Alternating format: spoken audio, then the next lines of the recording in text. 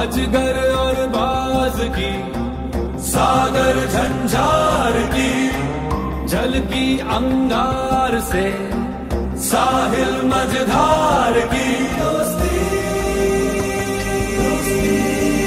In the past few years, there have been many advances in AI, artificial intelligence. At the same time, there have been even more momentous development in another AI, America and India. चट्टान और तूफ़ान की दोस्ती गाज और गर्जन की दोस्ती पूरब पश्चिम मिलते हुए है ये दोस्ती